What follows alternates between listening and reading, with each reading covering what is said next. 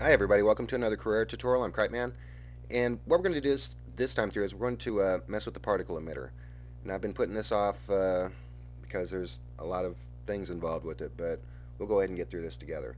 Um, first of all, let's go ahead and make sure we're in a small scene. Uh, go to Scene, Interface, and down here you'll see uh, Scene's Magnitude. You can change the scene's magnitude here. Um, the particle gener generator seems to be it comes in more naturally in the small scene. You have to kind of size them up in other scenes. So let's go ahead and insert a particle emitter.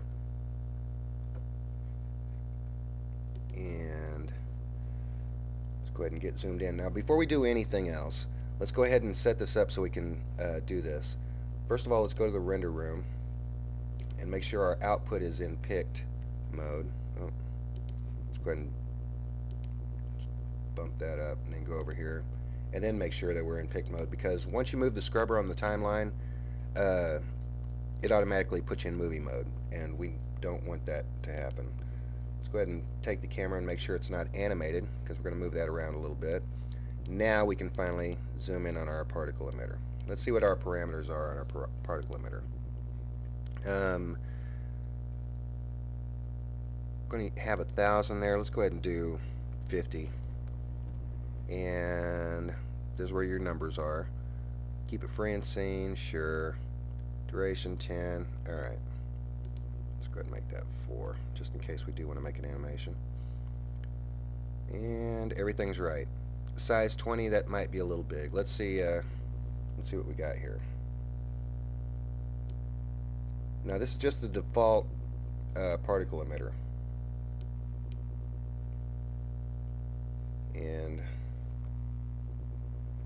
uh, that's like the psycho fountain or something. So we're gonna make we're gonna make something a little bit different here. Uh, first of all, let's go ahead and go jump into our front camera, and let's insert a plane. Take that. Let's size it with Shift S.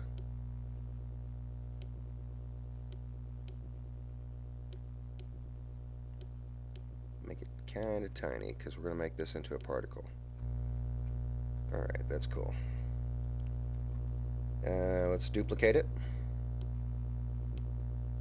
And duplicate it again, and duplicate it again. And now let's change our names on our planes. We got plane 1. You click down here, go up here, plane 2, plane 3, and plane 4. Now we're going to need uh, uh, extra shaders. Let's go ahead and make uh, a shader for each one. New master shader, new master shader, new master shader. And I'm right clicking and doing this, new master shader. Let's jump into the first shader. And our color is going to be a texture map. And these are going to be texture maps that we used from the last tutorial. Um, there's one of them right click copy this and paste in the glow so we don't have the light affecting it. And we're going to do the same thing to these guys too. Texture map. Uh, not that one. There we go.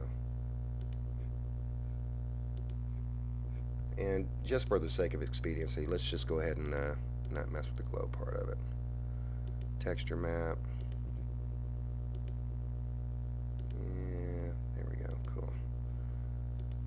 right there. Double click on this one. And make this a texture map. You kind of get the idea right? Yuck.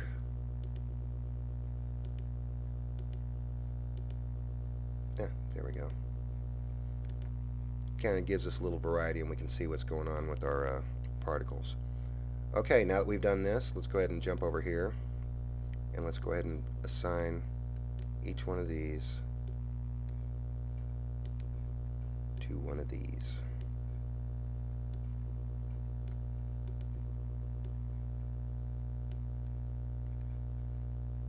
I didn't do this.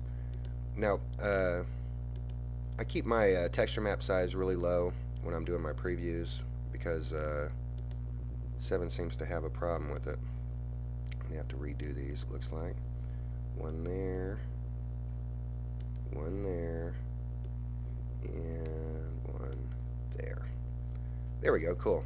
Now here's the here's the part that's gonna that's uh, gonna make your renders worth it. Let's jump back into our particle emitter, and uh, we're going to use uh, objects as our particles, and our objects are going to be the the planes that we just made. Uh, go all the way to the go to the advanced tab and go all the way down to the bottom and let's add plane 1 add. Plane 2 and you notice that they're disappearing. Each object as you add it uh, disappears from the list.